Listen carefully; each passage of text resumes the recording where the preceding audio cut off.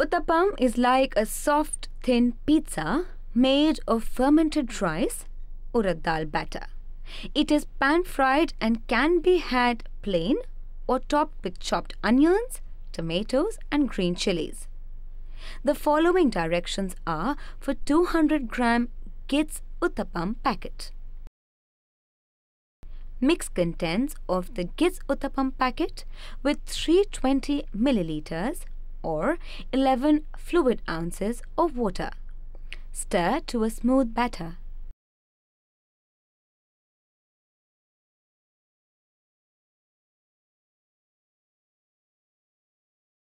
Evenly grease a flat non-stick tawa or griddle with a little oil and heat on a medium flame.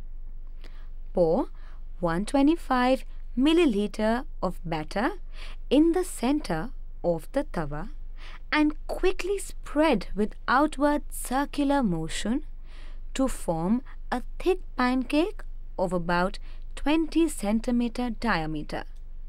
With a spatula, carefully turn the uttapam to cook the other side till golden brown. Your plain uttapam is ready. Now here is another variation of the uttapam. First, cool the pan with a wet muslin cloth and then follow the same steps as we did for the first uttapam. Now sprinkle finely chopped onions, tomatoes, green chilies and coriander leaves on top.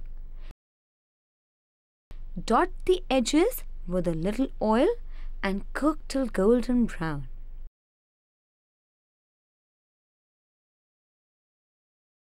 Serve the uttapam hot with gits sambar and coconut chutney.